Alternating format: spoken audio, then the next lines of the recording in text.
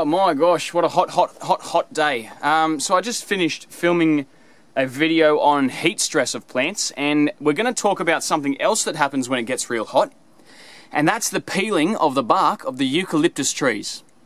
Now, in Australia, the eucalyptus trees can be divided into seven categories depending on how the bark sheds.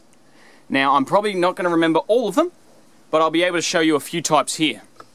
Now this one peels off in large strips, so this one can go into the class of strippy bark. You get another one which peels off in string, and that one is called a stringy bark. We have another one that peels off in really nice uniform sort of circles, like little spots, and we call that the spotted gum. We got this one right next to it here. This one never peels at all, and we call that the iron bark.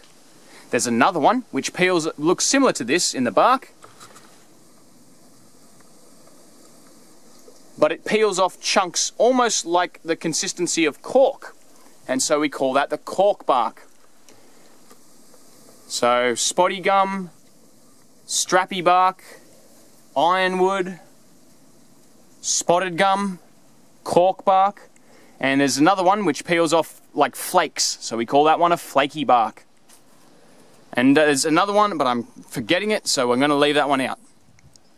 Now, when we make things like coolamons or shovels or shields or canoes, we never, ever, ever take the bark during summertime because it will kill the tree.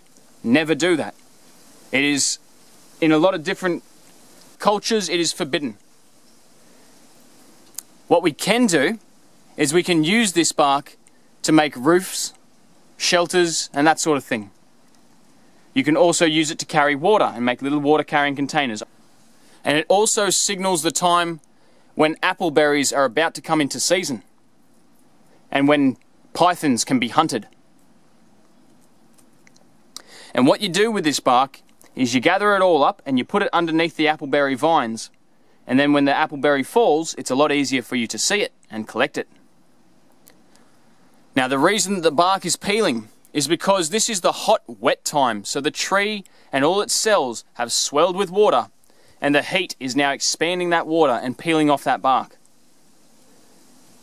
If you are going to make a shield or a coolamon, or a canoe, we always take the bark from the southern side, the side of the tree that faces the poles, never the side that faces the equator, because the equator is where the sun is.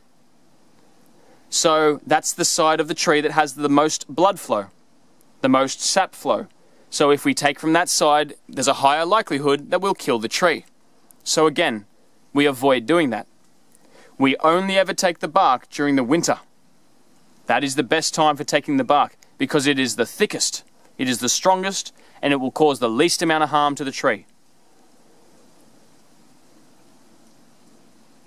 There is also further categories for the trees when they peel. So this strappy bark here, when it peels, you notice here the colour is a bit of a beige colour. Other trees will peel and have a bit more of an orange colour or a bit more of a tan colour and you can divide them more like that. If the bark stays up in the tree, like it is here, that's another characteristic dividing feature. However, if the bark peels to the bottom, like in Eucalyptus oleates, we call that like a, uh, a stocking or a sock. And you get the black butt on the tree. A few years back, my father tried to ring bark this tree to kill it. Good thing he didn't succeed, because it gives me a lot of shade, especially on a day that's 47 degrees in the shade. Anyway, folks, I'm going to leave that there, and I hope that's been informative. Oh, and another thing, check this out. Okay, so this little stump here, right, that is still peeling its bark. That stump is still alive. And it is still putting nutrients into the ground. It is still putting nutrients into the tree off to the side here.